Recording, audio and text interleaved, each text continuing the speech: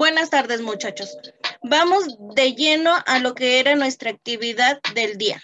Realizar una portada en nuestro cuaderno de español.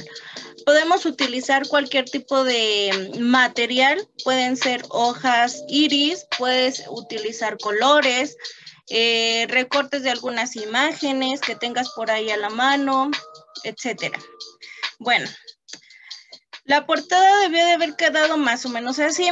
Especificar lo que es nuestra práctica social del lenguaje, especificar el ámbito, nuestro aprendizaje esperado, que nos marca en este caso el libro, y bueno, un breve resumen de lo que es nuestra meta de aprendizaje.